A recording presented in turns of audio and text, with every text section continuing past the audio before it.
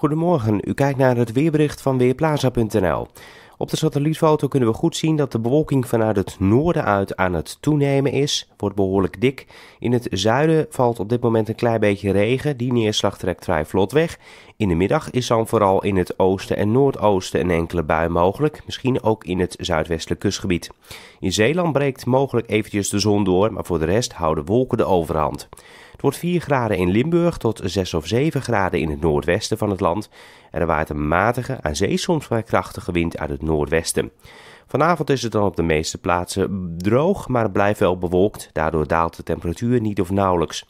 Ook morgen een overwegend bewolkte dag. Verspreid valt er wat lichte regen of motregen. In de middag is het 7 of 8 graden. En er waait een stevige noordwestenwind, matig in het Waddengebied soms krachtig windkracht 3 tot 6. Op zondag is de wind wat afgenomen. Dan is het nog steeds bewolkt met lokaal een spatje regen langs de oostgrens, maar voor de rest droog weer.